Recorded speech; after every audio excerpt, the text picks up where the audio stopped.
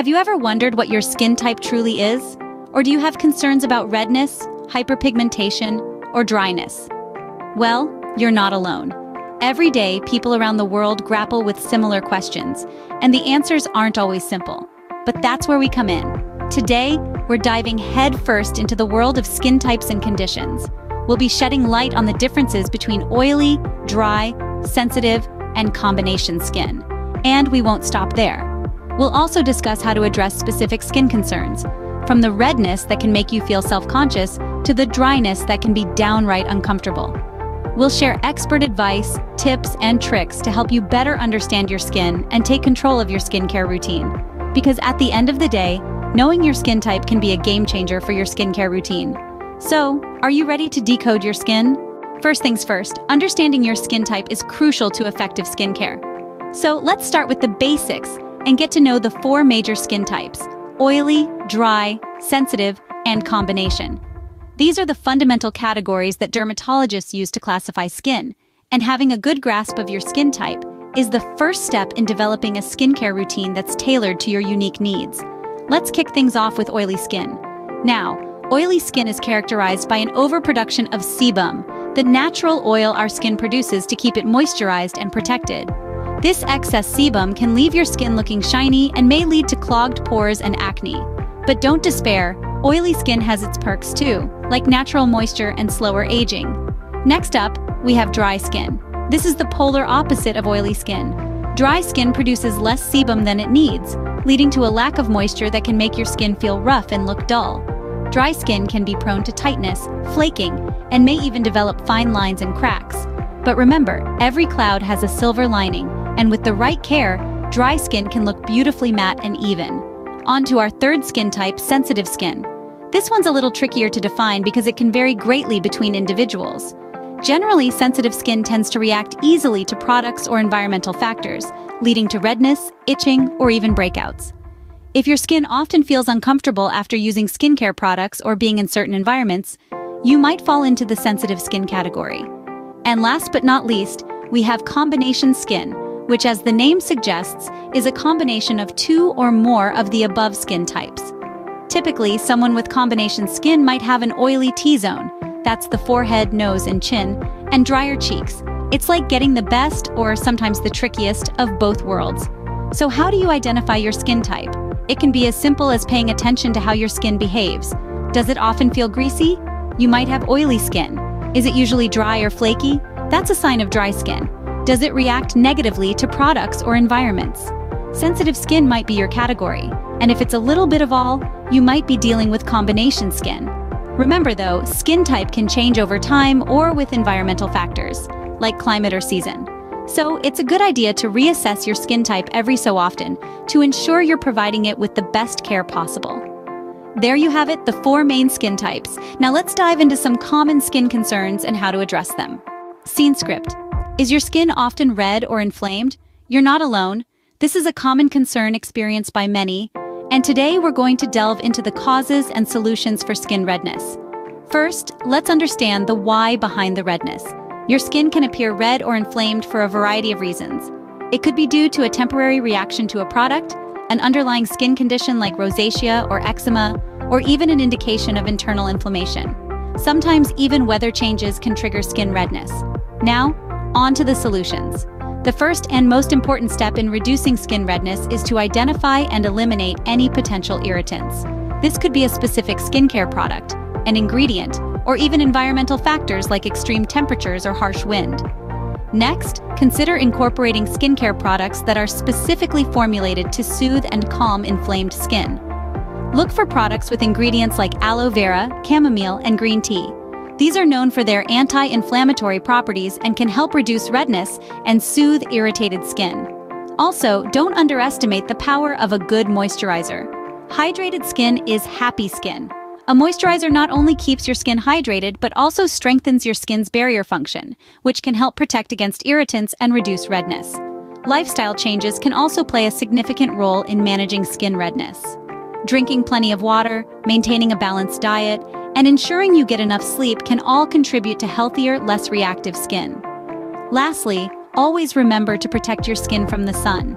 sun exposure can worsen redness and lead to further skin damage. So make sure to apply a broad spectrum sunscreen every day, even when it's cloudy. Remember, redness can be a sign of irritation, so always listen to your skin. If redness persists despite your best efforts, it may be time to consult a dermatologist. After all, your skin is unique and finding the right solution for you may require a bit of trial and error. But with patience and consistency, you can achieve a calm, clear, and glowing complexion. Now onto a concern many of us have, hyperpigmentation. Hyperpigmentation, a common, usually harmless condition where patches of skin become darker than the surrounding skin, can be a source of consternation for many. But worry not, my friends, we're here to shed some light on this shadowy subject. Hyperpigmentation is primarily caused by an excess production of melanin, the pigment that gives our skin its color. This overproduction can be triggered by several factors, including sun exposure, hormonal changes, and even inflammation or skin injuries. Let's start with sun exposure, the most common culprit. You see, when our skin is exposed to the sun, it produces more melanin to protect itself. That's why we tan. But sometimes, this process can go into overdrive, leading to hyperpigmentation. That's where sunscreen comes in. It's not just for beach days, folks. Regular use of a broad-spectrum sunscreen with a sun protection factor of at least 30 can help prevent and manage hyperpigmentation. Now, if hormonal changes are the cause, as with melasma, often seen in pregnant women or those on birth control, it can be a bit trickier. Consulting with a dermatologist is usually the best course of action. They can recommend specific treatments or changes to your medication to help manage the condition. And what about hyperpigmentation caused by inflammation or skin injuries? This is often seen in conditions like acne or eczema. Here, the best defense is a good offense. Addressing the underlying skin condition with the right skincare routine can help prevent hyperpigmentation from occurring in the first place. But for those already dealing with hyperpigmentation, there's hope. There are a multitude of products out there, from retinoids to vitamin C serums, that can help lighten these dark patches. But remember, consistency is key. It can take several weeks, sometimes even months for results to show. So there you have it. Hyperpigmentation, while common, is not unbeatable. With patience and the right products, hyperpigmentation can be managed. Scene script. Dry skin can be a real challenge, but it doesn't have to be. It's a common concern, but with the right approach, it can be managed effectively. So let's dive in and explore some tips to help you grapple with dry skin. First and foremost, hydration is essential, not just externally, but internally too. Drinking plenty of water every day helps maintain your skin's moisture balance. So, think of your water bottle as your best friend and keep it close to you. Now, let's talk about skincare products. Look for those that contain ingredients known for their hydrating properties. Hyaluronic acid is a standout. It's a substance naturally produced by our bodies, and it can hold up to a thousand times its weight in water. Imagine the hydration boost it can give your skin. Glycerin is another ingredient to keep an eye out for. It attracts moisture to your skin and helps keep it there. Next up, let's discuss some lifestyle changes. One of the most effective is to take shorter, cooler showers. While a long hot shower can feel great, it can also strip your skin of its natural oils. So try to keep your showers short and sweet. Moreover, consider investing in a humidifier. This can be especially beneficial in the colder months when indoor heating can dry out your skin. A humidifier helps maintain a healthy level of humidity in your home, keeping your skin happy. Finally, don't forget the importance of a healthy diet. Foods rich in omega-3 fatty acids like fish and walnuts can help keep your skin moisturized from the inside out. Remember, dry skin doesn't happen overnight and it won't disappear overnight either. It takes consistent care and attention. But with the right approach and a little patience, you can improve your skin's hydration levels and overall health. Hydration is key for dry skin, so keep that water bottle handy.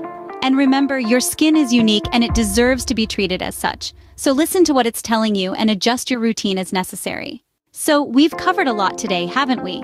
From the depths of understanding skin types to addressing some common skin concerns, we've journeyed far and wide in the realm of skin health. Remember, it's not just about following a trend, it's about connecting all the facets of your health and beauty. We began by diving into the four different skin types oily, dry, sensitive, and combination. Knowing your skin type is the first step to maintaining its health. For instance, those with oily skin may find that they're more prone to acne and larger pores.